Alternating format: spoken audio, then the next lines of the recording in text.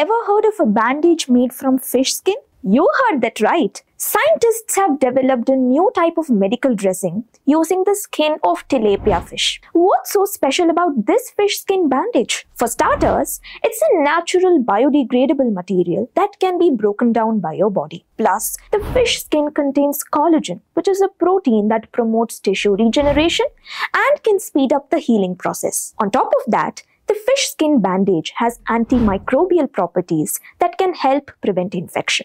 Believe it or not, the use of fish skin in wound care is not a new concept. Traditional medicine practices in countries like Brazil and China have been using fish skin to treat wounds for centuries.